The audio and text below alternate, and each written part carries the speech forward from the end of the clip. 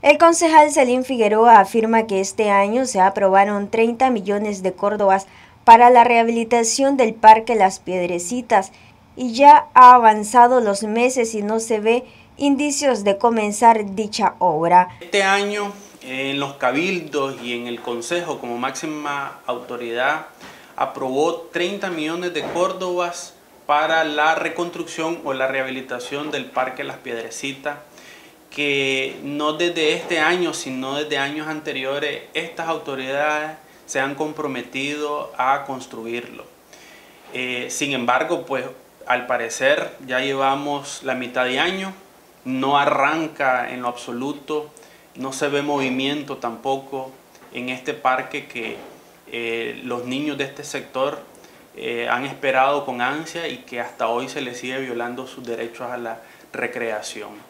El año pasado igual se pasó todo el proceso en los cabildos y se aprobó en el Consejo 60 millones de Córdoba, sin embargo en el transcurso del año se recortaron y no se dio.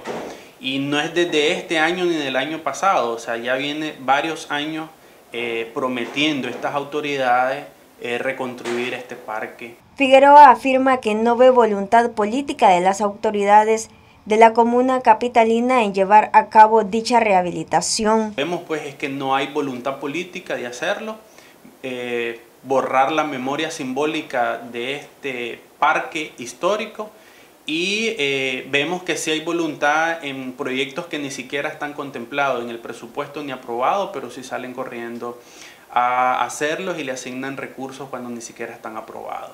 Como por ejemplo el campanario de la ilegalidad, el nuevo proyecto que quieren hacer del el, Paseo Bicentenario.